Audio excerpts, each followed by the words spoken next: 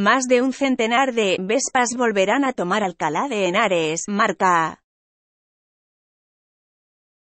Alcalá de Henares, Madrid, vuelve a ser el epicentro de uno de los mayores eventos para escoteristas que se celebra en la península. Vespa Alcalá 2018 dará comienzo el próximo sábado 8 de septiembre a las 10 de la mañana en la Plaza Cervantes, donde se reunirán más de 120 modelos clásicos y modernos de la mítica Vespa. A esa misma hora dará comienzo una ruta de 69 kilómetros que recorrerá pueblos de la comarca de Alcalá y la provincia de Guadalajara.